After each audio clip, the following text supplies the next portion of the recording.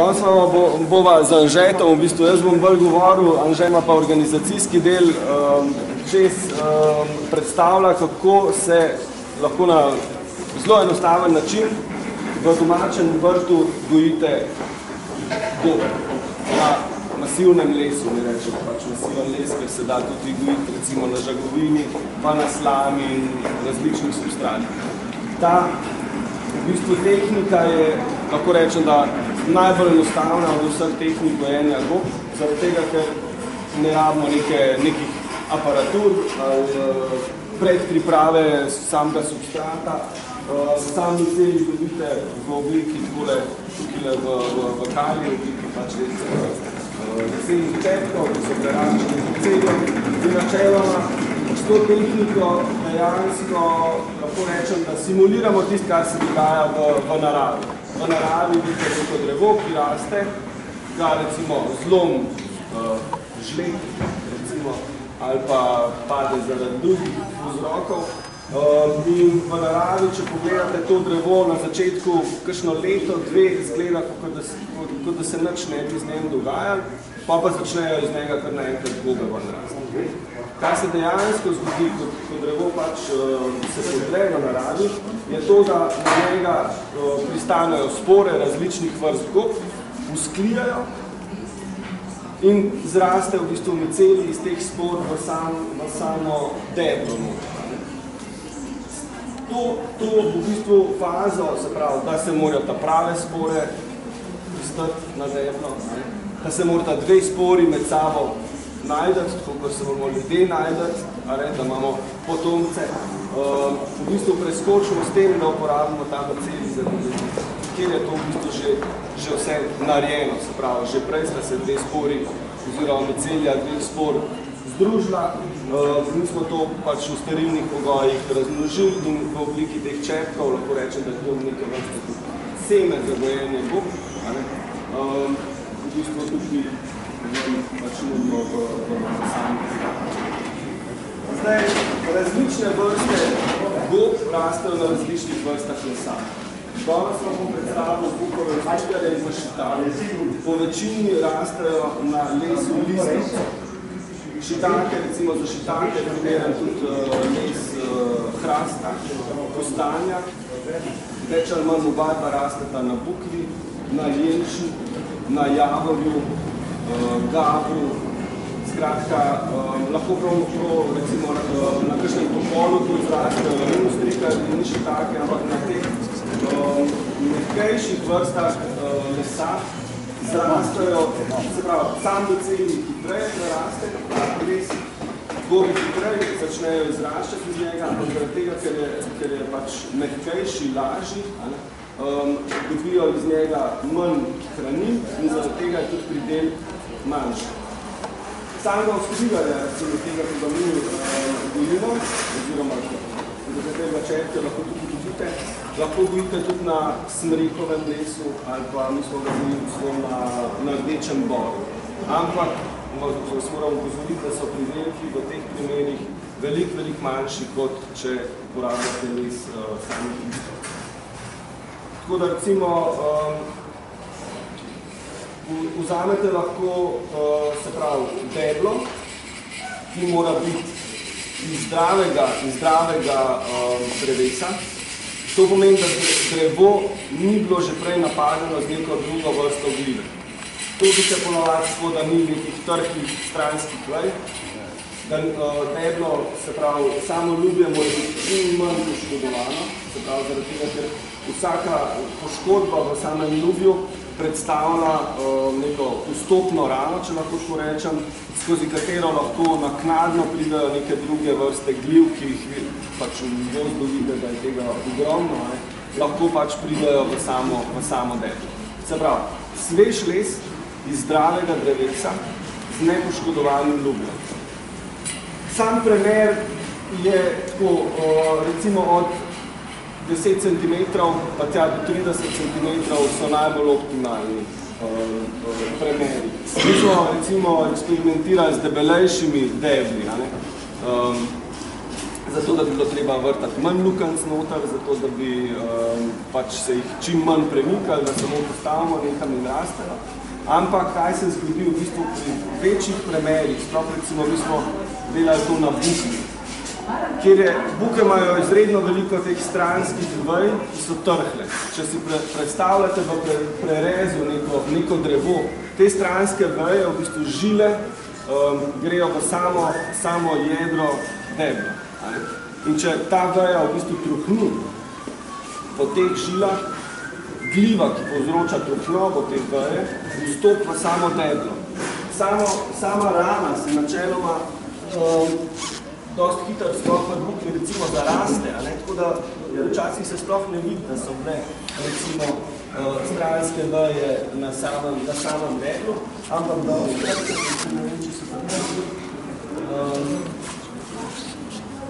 recimo, da ostrat vidimo, kako v notranjosti tako ne obarvamo. To je stranska veja, v bistvu, ki je izraščala, ne vem, lahko tudi nekje, nekje drugje, iz tega debla in po tej stranski veje je neka druga gliva pršla pač v samo deblo. Ta gliva tukaj na notar, se pravi, to ni tista, ki jo mi hočemo pojiti, ampak dejansko čaka, da bo se bo enkrat drevo podrlo in bo začela, ko bo ta uh, les umrl, se pravi, bo, bo, bo nehal, nehal te sukovi prečakati skozi samo, samo deblo, bo začela v bistvu preraščati uh, samo, samo deblo.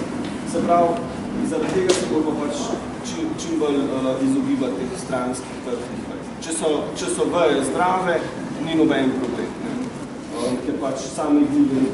Te gljive so ponavadi so veliko bolj, rekel, agresivne, ker se v naravnem okolju pač uh, nahajajo tukaj, ne? Um, recimo imajo zaradi tega prednost pred, pred uh, se pravi, so bolj agresivne kot vrste, ki bo pač nanesel um, na samo deblo in hočemo, da, da bi nam deblo pač podane. Um, če imamo pač deblo, ki ima, ki ima te trhle stranske veje, se tega izognemo v bistvu tako, da okoli, okoli teh uh, predelov, kjer, kjer je v bistvu že gliva oziroma trohnova v samem deblu, da damo več četrov. Ali pa uporabimo, uporabimo vrsto gobe, ki je v bistvu bolj agresivna. V tem primeru recimo ostrigari so veliko bolj agresivni kot same šitage. Se pravi, ostrigar bo imel veliko večjo možnost, da bo, da bo začel, se pravi, da bo premagal, če lahko tako rečem, to avtoktono vrsto v, v deblu in pa obnov same gobe.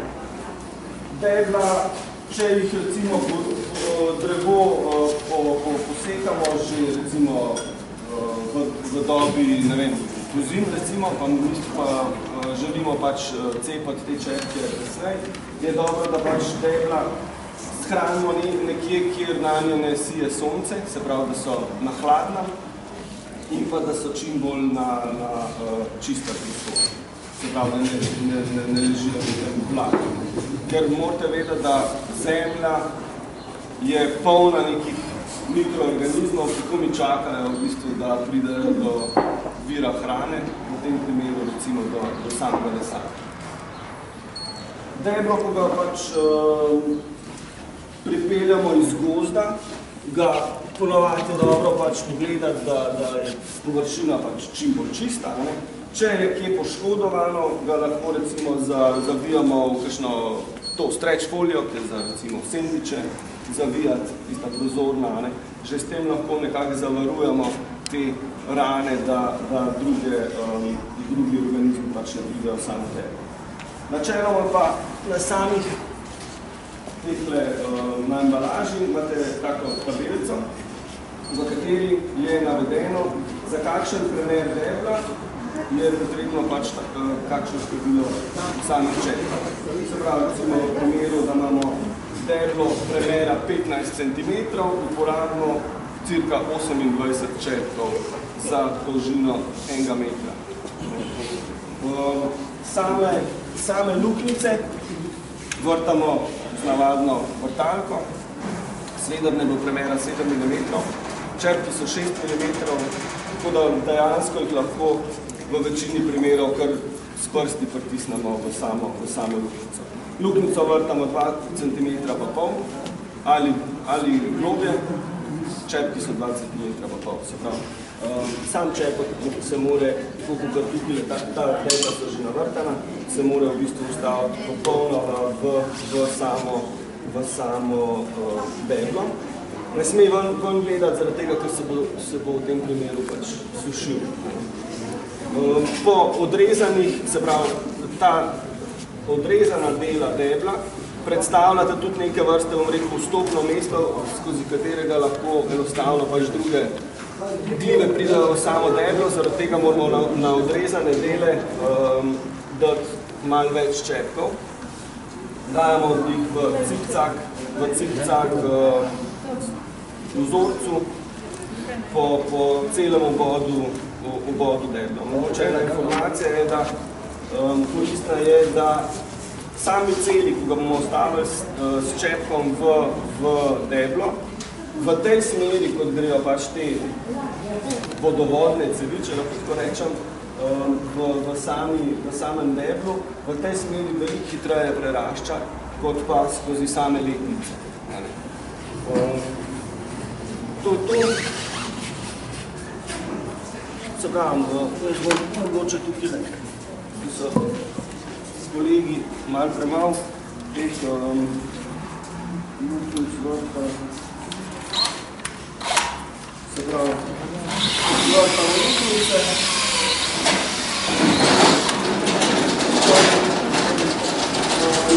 več, več, koncentriramo okoli predelov, kjer recimo vidimo kakšno, kakšno um, se pravi, trupnovo, kakšne druge, druge vrste, druge, Zato da bo tukaj le čim hitreje pač ustriga, recimo, v tem primeru, da bo ustriga čim hitreje pač prerasti.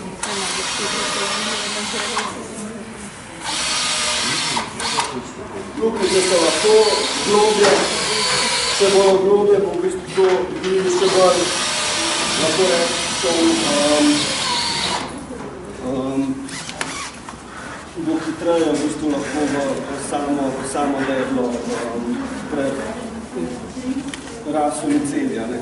ker mu, se mu ne bo treba pač truditi skozi sam les, ampak bo že po, po površini same luknice lahko hitreje pridal v, v lotranje. Micelij, ko ga uporabljamo, recimo, če delamo to vzuli na, na soncu, ne smemo vrečke nikoli kje na soncu puščati, zaradi tega, ker se izredno hitro uh, lahko se greje in pa skuha po domače. Dobro, znamo čekaj. In jih ustavljamo same luknice. Dobro je, da imamo čim bolj čiste roke, probiramo, čeprav ni zelo, zelo uh, ključnega pomena, je pa, je pa s tem pač izboljšamo pogoje. Zdaj, nekateri grejo, recimo, že kar vrsti, direktno motor, nekatere pač objektom zabijamo v samo, v samo Takole, recimo, po odrezanem delu in pa pol po samem obodu. Tudi na samem obodu gledamo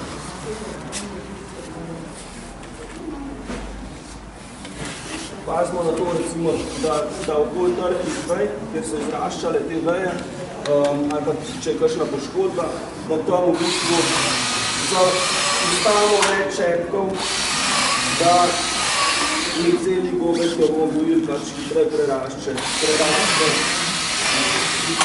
um, te, te predele, kjer bi bilo kakšna druga druga. pol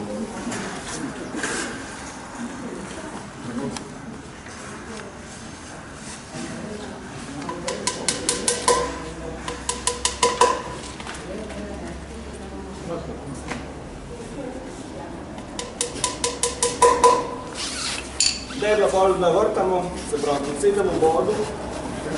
Več, ko bomo dali čepko, bolj na gosto, ko bomo dali, hitreje bo v bistvu miceli prerastu. Samo deblo. Manjša bo verjetnost, da bo iz njega kakšna druga vrsta goba začela izraščati in posledično bomo hitreje iz samega debla um, dobili gobe. Debla, ko, ko nanesemo miceli um, na nje, lahko postavimo recimo v vrt, nekam pač v senco, da na nje nesije um, direktno sonce, da jih moč drž. Um, na začetku jaz osebno imam bolj izkušnje, da recimo je najbolj, da se uporabljaš na peščena podlaga, se pravi, da niso direktno na kakšni travi, se pravi, sami, sami zemlji. Če boste, recimo, če imate doma kakšno, kakšen kos lesa in ga dvignete, ko je direkt na zemlji raste, boste videli v spodji, prihaja ogromno nekih razno raznih živalic in pa razno raznih plesni, bakterij in podobnih organizmov in v bistvu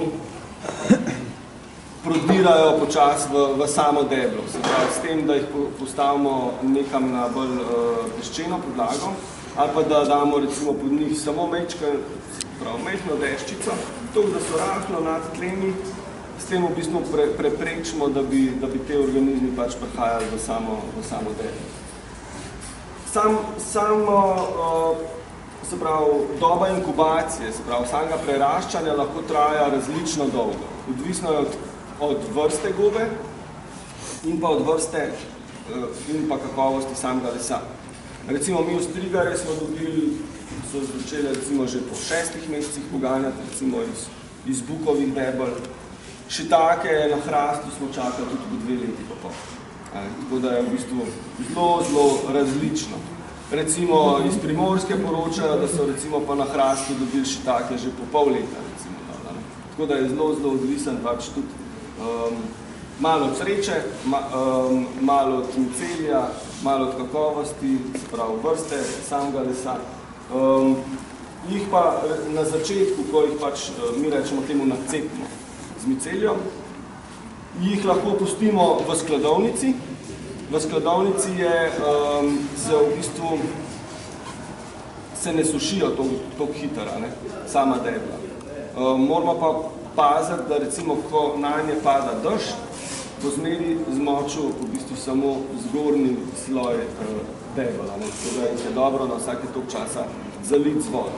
Če ne vemo za samo deblo, ali, se pre, ali je pre, presuho, ali je prevlažno, čeprav prevlažno je zelo, zelo težko, ne? predvsem je problem pri gobah, da je presuho, recimo vzamemo eno deblo in če, če ga recimo stehtamo, da ima 10 kg, se lahko posuši do najmanj tam 8 kg, 7 je že, je že uh, res uh, spodna meja. Se pravi, za 20, maksimum 30 da zgubi na sami teži. Debla na začetku preraščajo, če naredimo to recimo jesen na cepno debla, jih lahko damo v kakšno klet, kjer je temperatura recimo saj nad lediščem in bo tudi recimo v dveh stopinjah bo, bo še vedno aktiven in bo še vedno preraščal debla. Tako da recimo, če naredimo to jesen, si bomo s tem, da bomo debla pustili, da preraščajo nekje pač v toplejšem um, um, prostoru, si bomo v bistvu s tem bom, bomo hitreje dobili v bistvu gobe, ker bojo lahko v času samega, same, same zime, če bi jih zunji pustili, bi se pač bi zmrznili celi in bi nehal uh, preraščati. Ne? V tem primeru pa bo par mesecev v bistvu še vedno lahko preraščal. Ko so debla preraščena, to recimo še posebej na bukovih deblih, opazimo kot uh, bele lise pod, pod samim ljubjom, zdaj pa jelši več ali manj opazimo, opazimo na, na samem odrezanem delu, kako se v bistvu beli fleki sam uh, take lise micelija pojavijo, ne, ko začne miceli ven poganjati.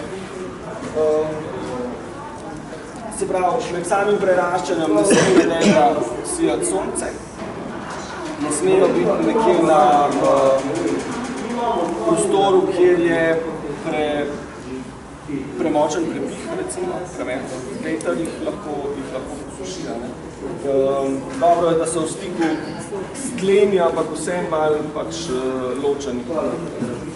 Načeloma, to, da so pri tleh, je zelo koristno zaradi tega, ker saj v teh severnejših delih Slovenije, recimo, um, se vsak dan pojavlja rosa. In ta rosa dejansko debla vsako jutro na moč. Um, ko so debla preraščena, jih moramo pa pol rahlo narazen, se pravi prejčno 20 cm, da imajo gobe prostor, da, da izraščajo sami debla.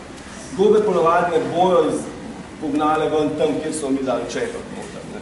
recimo, tako ker solata, tam, kjer boste dali seme, tam bo zrastla solata. Ne? Goba bo pognala v bistvu tam, kjer je, kjer je najbolj ustrezajo sami pogoji. Ne? Ko bo miceli uh, dost uh, prerastel deblo, nabral dost pač energije, bo v primernih pogojih začel voditi gobo.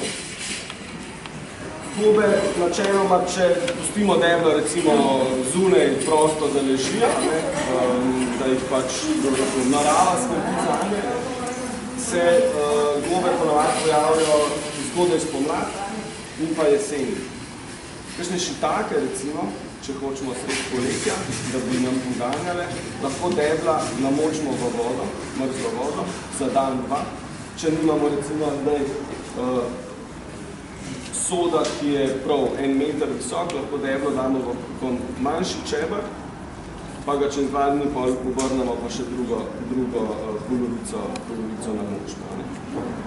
In, in samih debel zdaj je odvisno od samega debla, se pravi od, od, od mase debla, koliko bo v bistvu sami celi dobil energije. Če je debelejše deblo, ga bo pač gliva rahlo dal časa rabila, da, da ga bo prerasla, ampak bo iz njega v bistvu lahko veliko več energije, veliko več hranil dobila in zaradi tega bo v bistvu tudi več gob uh, se pač pojavili. Recimo bukova debla premera 40 cm, ko smo jih mi uh, cepali z miceljem, recimo so tudi do 8 let pol, vsako leto poganjale, poganjale z veliko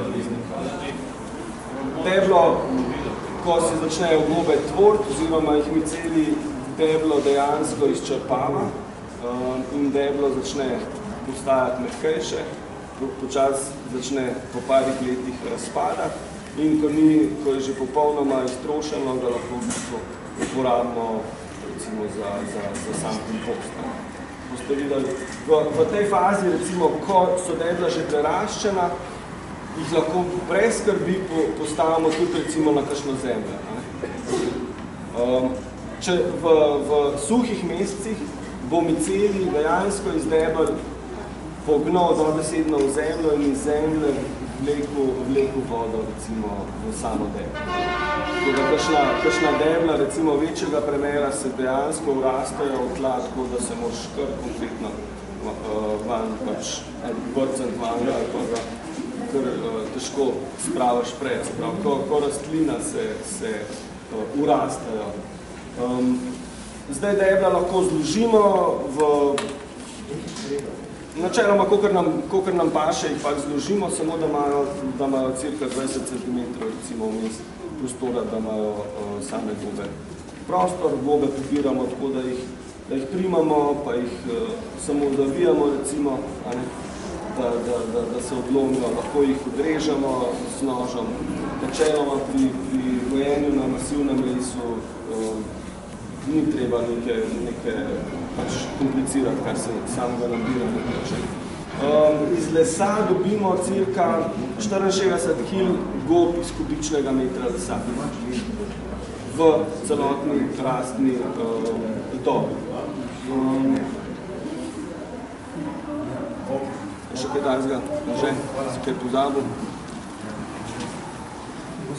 Tipične napake mogoče? Ja, lahko, lahko v bistvu um, idealno je, če v bistvu tam, kjer smo, smo unesli uh, same čepke v, v deblo, da zamažemo v bistvu tam um, z voskom, se pravi s čebeljim voskom ali pa parafinom, To najbolj enostavno naredite tako, da vzamete eno svečo, jo date v, v pločevinko prazno. Pločevinko ne direktno na ogenj, ker če se ožge, je lahko požar, ampak jo postavite v vrelo vodo in stalite vosek, vzamete čopič in s čopičem v bistvu zamažete um, se pravi, oba odrezana dela in pa tam, kjer ste ustavili uh, same četke v, v deblo. Načeloma mi tega ne počnemo več, um, ker smo ugotovili, da se popolnoma, popolnoma dobro funkcionira, če, če pač ne zamažemo voskom. Izogibati se morate cepilne smole, ker cepilna smola vsebuje uh, te fungicide. Fungicidi pa delujejo pač predvidljivo. Tako da uh, to je...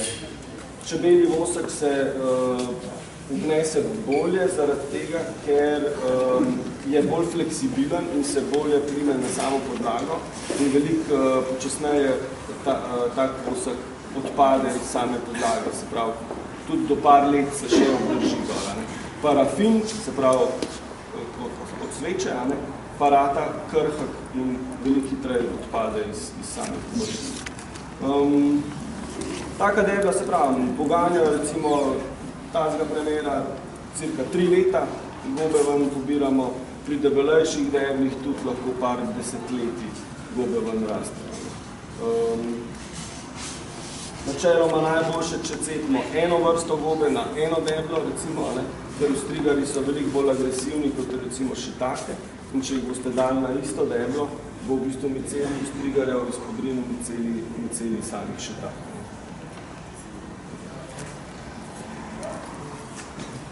Kakšno vprašanje? Ja, je doktor. Mi, koliko? Mislim, tak, da tak, tak ljudi. Ja. Trenutno se bom sliga reči. Ker ni povpraševanje. me zanima, da se ste Ja. Tizga pa veliko po naročili. Vse daš.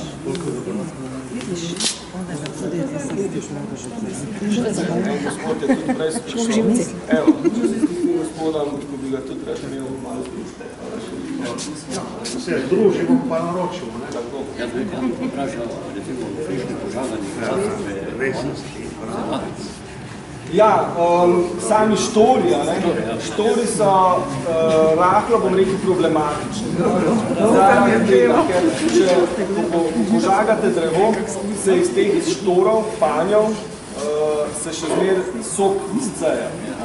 In če boste v ta, ta, tak panj dali v celi, bo zgnil, se pravi, besedo se bo utopil, zadušil. Um, tako da najboljše počakati, da se štor neha, se pravi, uh, uh, sok iz njega, pol pa odrežete, recimo, če je to par mesecev, recimo, traja, um, to pomeni, da so že kakšne druge glibe na površini, ne, je najbolje, da ga eno tokle odrežete več, pol date pa tisti koloba recimo za senco nazaj. ne. Ampak gre, recimo, strigarja, mi smo jih bili na, na, na smriki, na uh, topolovih banjih, recimo, ne.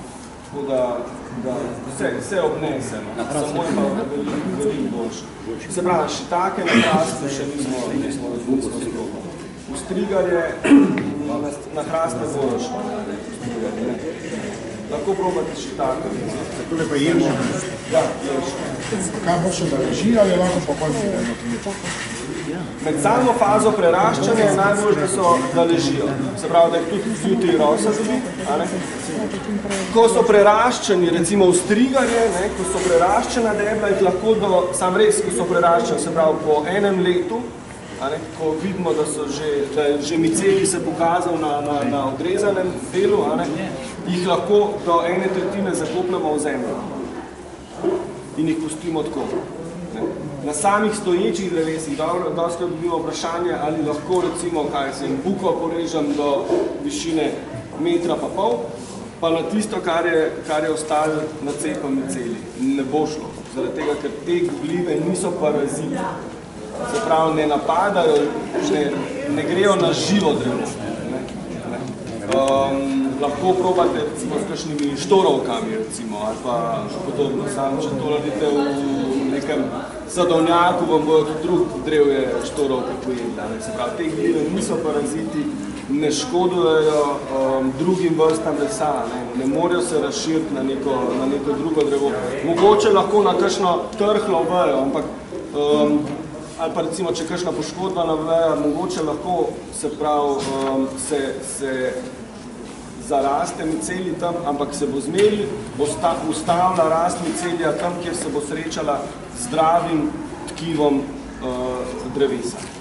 Ne bo v bistvu napadala samega zdravega tkiva um, drevesa. Se pravi, na začetku je bož, da debla ležijo, šitake se uh, lahko pospešite pač snovanje samih um, um, trusnjakov oziroma gob s tem, da debla namakate v vodi.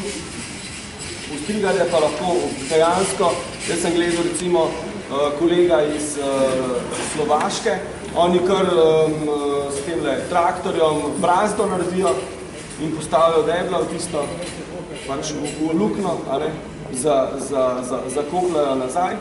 Uh, pa pa naredijo v bistvu iz, iz lesa kar neko strehico, katero prekrijajo s kišno takole, recimo tkanino za, za senčanje ali pa s tisto uh, trstiko, ne, tako da v bistvu na nje nesije sonce.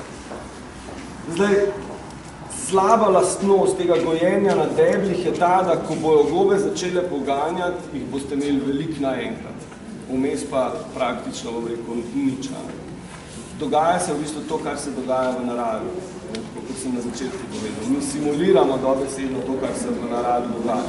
In v naravi, recimo, ostrigari poganjajo zgodaj spomladi, često poganjajo, po večini pa poganjajo pozno jesen, ko so temperature, se pravi, ko se temperatura zniža, ko se začne močnejše deževje, ko je veliko vlage v zraku, takrat začnejo gobe uh, poganjati. Tako da, če bi hoteli recimo se tega gojenja lotiti za komercialne namene, ne, ne morate se iti pa recimo prodaje svežih gob. Zaradi tega, ker jih boste imeli samo enkrat na let, kup recimo, mi jih imamo z tistih sedmih kubikov stigarja od 20 do 30 kil vsako leto. Vmes po leti pa sem pa kaj kakšna gobica po ženi. Tako da, če bi recimo to se se radi šli recimo na, na večjem merilu, se najbolje splača recimo te gobe usušiti in pol v bistvu suhe čez celo leto podati. Ker nek Merkator recimo ne bo vzel samo enkrat na leto, oni bo že nek skoz, pa jih sploh ne zanima. Ja, pa zdravilnost Šitake, zdravilnost, šitake so za krepitev imunskega sistema, recimo so zelo učinkovite. Pol imajo v bistvu na vzhodu jih eh, uporabljajo proti eh, različnim vrstam eh, rakavih obolenj. Tudi neki zdravil so že razvili na vzhodu iz njih, recimo lentinan, je zelo, zelo učinkovit proti raku na prsi, želodcu, če se ne motam. Za recimo zniževanje tega škodljivega kolesterola so zelo učinkovite še take v drugem so pa zelo, zelo vkusne. Imate lahko res um, ja, zdravilen obrok, to rekoč. Eno vprašanje, še eno, zdaj črke me je lahko v žagovino tudi kvico se razvije, v breče.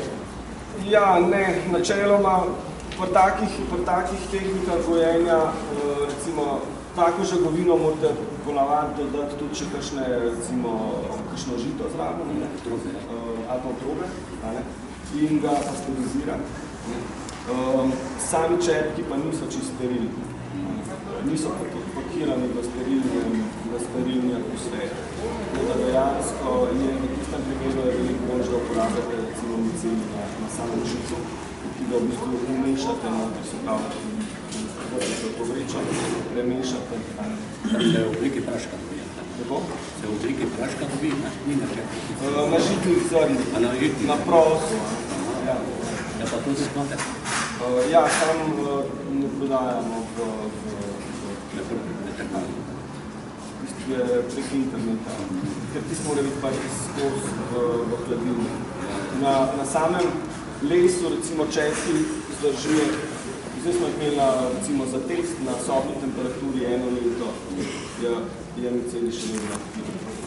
Zaradi tega, ker gliva, sploh uh, če nima um, dosti zraka, in zelo, zelo počas pač razkraja ta, ta les. Um, žito je veliko bolj hranljivo in ga veliko, veliko hitreje raz, raz, razkraja. Zaradi tega je, se pravi, ko date na, na, na, na sam substrat je zaradi tega v prednosti, ker veliko hitreje lahko prerašča substrata, ne? ampak se njegova se pravi, življenjska doba krajša. Se pravi, da je res treba pri nizkih temperaturah trajati. In se ga ne, ni možnosti ga prodajati pač um, v sklopu recimo kalje. Ja, ja, ker stran mora biti ena skupina po razprigalju je že včasih dosti, da začnejo gobe v hladilniku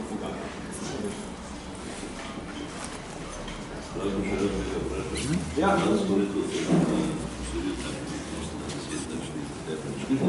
ja. Ja.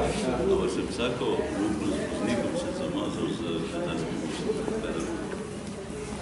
Ne vem, zakaj kletarski vosek, a je, ima fungicidno, fungicidno tole.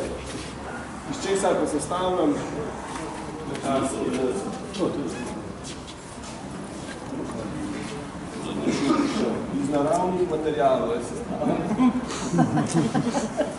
Ne vem, nimam Nekje sem prebral, Nimam ne, nisem, nisem. eh, Zdaj, če ima, ja, če ima, če ima ta vosek, vsebuje kakšne fungicidne snovi, Hvala problem. Ne vem, res stane pa... Čakaj, če kako rekel, juni, juni, nekje sem delal. Najbolj bi bilo, da gospoda proizvajalca Krajgerja Egona v medvo, medved, na Medvedovo pokličete v Mariboru, pa ga vprašate. Če je dejansko to parafin, ne? Lepa.